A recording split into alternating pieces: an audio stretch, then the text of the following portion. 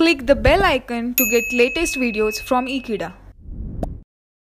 Hello friends, in the previous lecture we have talked about uh, the certain properties of uh, the carbon and uh, we have also discussed that how basically carbon is different from uh, uh, the other elements belonging to the group 14. So that how we have uh, mentioned about a word that is catenation. So what is catenation and why is basically carbon is responsible to show this catenation? Let us talk about that.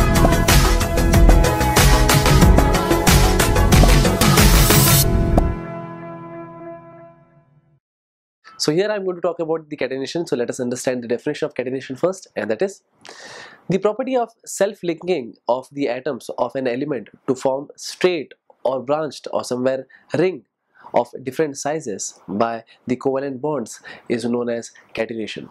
So in this case basically we are going to talk about carbon only because carbon is the only uh, element in the uh, group 14 which uh, uh, shows a property like catenation. While the other also have a, property to show catenation but they are not that much uh, they will uh, combine to form the catenation property. And talking about the last element of the group 14 that is lead it doesn't show catenation. So let me discuss about the carbon first. So carbon it can combine with the same element that is carbon itself in to form a, like a straight chain compound or to form like a, a branch chain compound or so as to form a basically we could say a ring uh, structure. So this kind of uh, uh, that is this kind of uh, uh, property that is exhibited by the uh, carbon or any kind of element is basically known as catenation. So why basically carbon is responsible for showing the property of catenation? It is because of the bond enthalpy. Yes.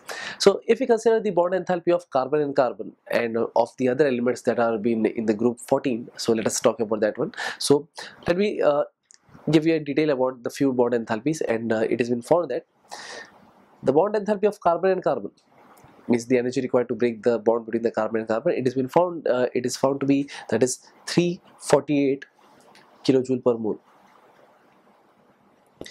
so this much amount of energy is being required so as to break the bond between carbon and carbon and that also one mole of uh, one mole of uh, that is bond between carbon and carbon. So now let us talk about the other uh, elements also whether they have uh, the um, catenation property or not. So let us discuss about that. So for that suppose we have got to know that is the bond enthalpy for silicon and silicon bond and that is basically it has been found to be 297 kilojoule per mole.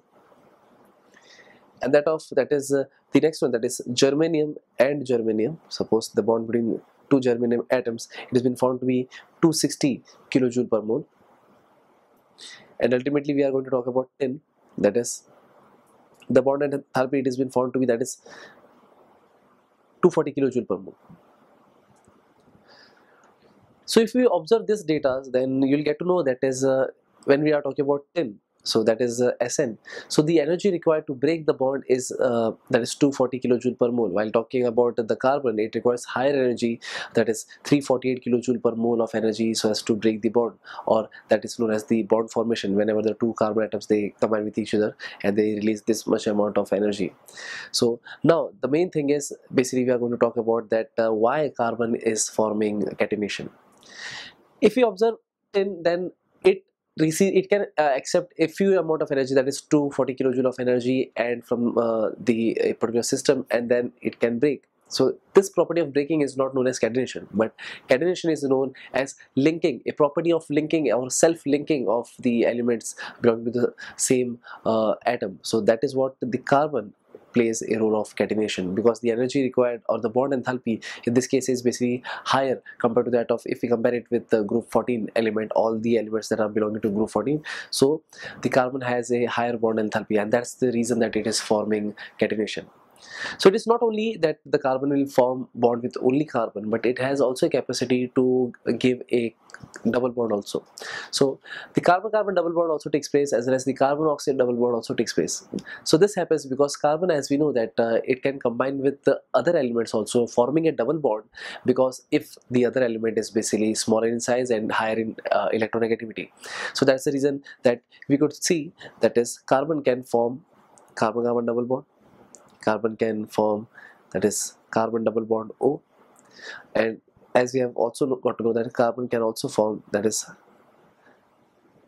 carbon triple bond N that is nitrogen. And this is what in HCN also that is in hydrocyanide also we could uh, find that is this kind of bond.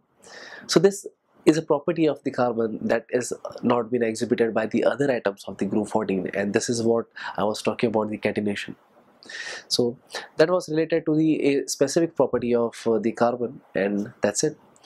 So thank you friends for watching this video. I hope you have understood this video very clearly and you have got to know various information regarding catenation. So i hope you will share this video with your friends and yes don't forget to subscribe Ekeeda's channel. Thank you so much